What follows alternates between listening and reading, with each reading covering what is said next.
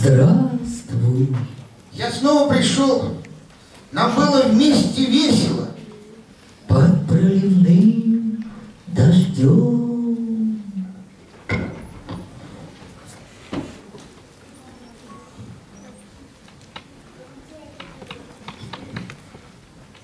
Если немного постоять под колоннами Большого театра, примерно в 8 вечера, за полчаса до выхода Плесецкой, а потом дойти по улице Горького до памятника Пушкина, спуститься бульварами к Трубной, деликатно не замечая влюбленных, и по кирпичным аллеям скверов, завернутых в мягкую весеннюю зелень, добраться до Мариной рощи, тогда за мостом железной дороги, там, где недавно стояли старые домики, можно в вечерних сумерках увидеть белоснежную яблоню, балерину в белоснежной пачке. Одну среди ошалевшего от любви и преданности бурьяна, и услышали овацию восхищенного электропоезда с желтыми глазами окнами, проносящегося к далекому морю. Наверное, многие мне скажут, зачем весь этот долгий путь, когда можно сесть на такси? Конечно, можно. Только там за мостом вы ничего не увидите, потому что будет еще светло.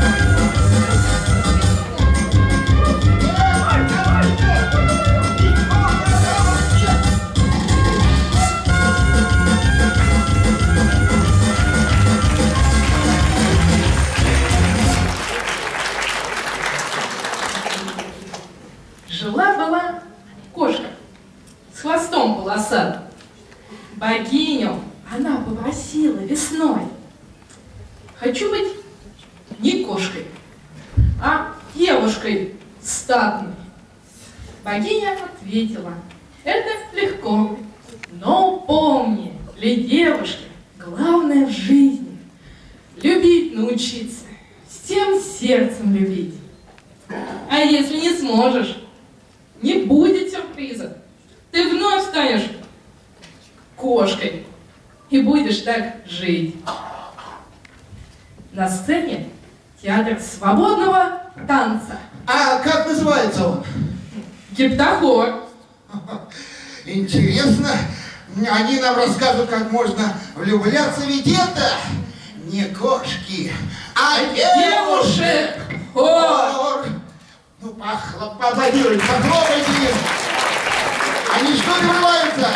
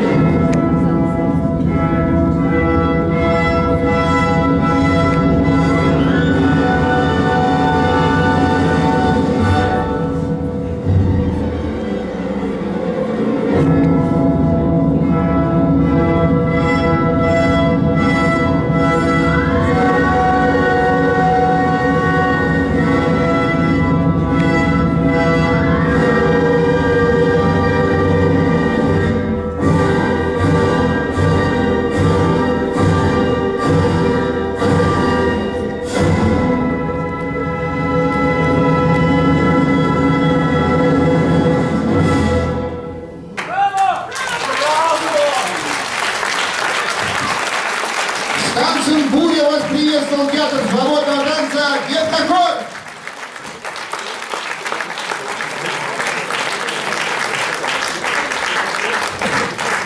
Громче, громче, аплодисменты.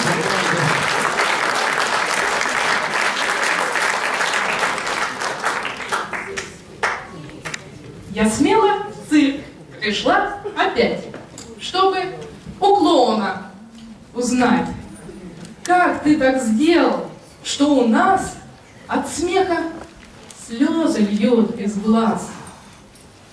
Но он тогда ответил мне, Пишу я сказки при луне, а в этих сказках доброта. И люди счастливы тогда. Пусть нас спасет от неудач прекрасный маленький скрипач.